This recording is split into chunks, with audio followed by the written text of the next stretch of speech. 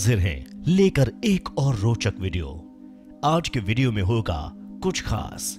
आज हम बताएँगे रामायण के किस्से में से एक ऐसी कहानी जिसको सुनकर आप कहेंगे, आखिर ऐसा क्यों? जी हाँ आज हम बात करेंगे रावण के करीब आते ही क्यों घास का तिनका उठा लेती थी सीता माता। तो चलिए शुरुआत करते हैं और जान लेते हैं आखिर इसका राज क्या है। रामायण के अनुसार भगवान राम ने सीता माँ का हरण करने वाले रावण को उसके पापों की सजा देते हुए उसका वध कर दिया था।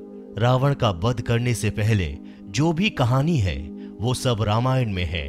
उसमें ऐसे रोचक प्रसंग हैं, जिन्हें सुनकर सभी प्रसन्न हो जाते हैं।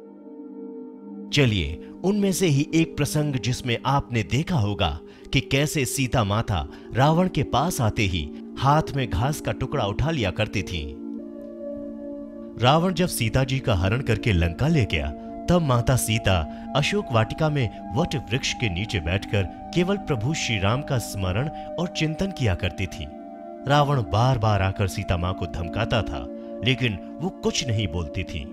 जब इस विषय में आगे बढ़े तो अगली कड़ी आती है, दशरथ की खीर में गिरा था तिनका। जी हाँ ये कड़ी महत्वपूर्ण है। माता सीता का बड़े आदर के साथ गृह प्रवेश हुआ और उत्सव मनाया गया। उस वक्त एक परंपरा निभाई गई और उस परंपरा में ही उस घास के तिनके का रहस्य छुपा हुआ है।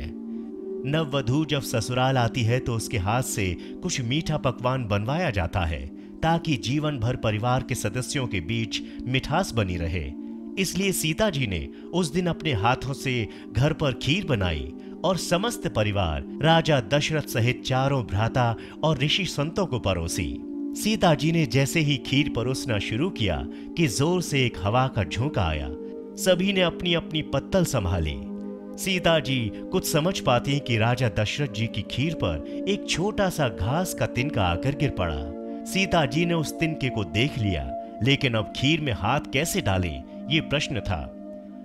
तब सीता जी ने दूर से ही उस तिनके को घूर के जो देखा तो वो तिनका जलकर राख हो गया और एक छोटा सा बिंदु बनकर रह गया। सीता जी ने मन ही मन सोचा कि अच्छा हुआ, किसी ने देखा नहीं।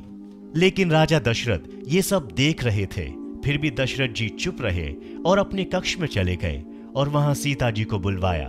फिर राजा दशरथ बोले, मैंने आज भोजन के समय आपके चमत्कार को देख लिया था। आप साक्षात जगत जननी का दूसरा रूप हैं। लेकिन एक बात आप मेरी ज़रूर याद रखना। आपने जिस नज़र से उस तिनके को देखा था उस नज़र से आप अपने शत्रु को भी मत देखना। इसलिए सीता जी के सामने जब भी रावण आया करता था तो उस घास के तिनके को उठाकर राजा दशरथ जी की बात याद कर लेती थी। सीता चाहती तो रावण को एक नज़र से ही भस्म कर सकती थी, लेकिन राजा दशरथ जी को दिए वचन की वजह से वो शांत रही। और इसीलिए जब भी रावण उनके पास आया करता था तो वो हाथ में घास का तिनका लिया करती थी। आपको ये कहानी कैसी लगी, ज़रूर बताएँ। ऐसे ही रोचक वीडियोस के लिए आप हमें फॉलो करें ताकि इस तरह की जानकारी आपको तुरंत मिलती रहे। नमस्कार।